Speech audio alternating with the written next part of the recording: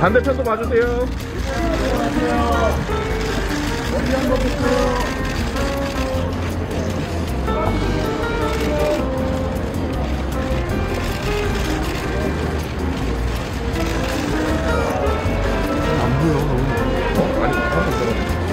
여기 손도 한번 들어주세요.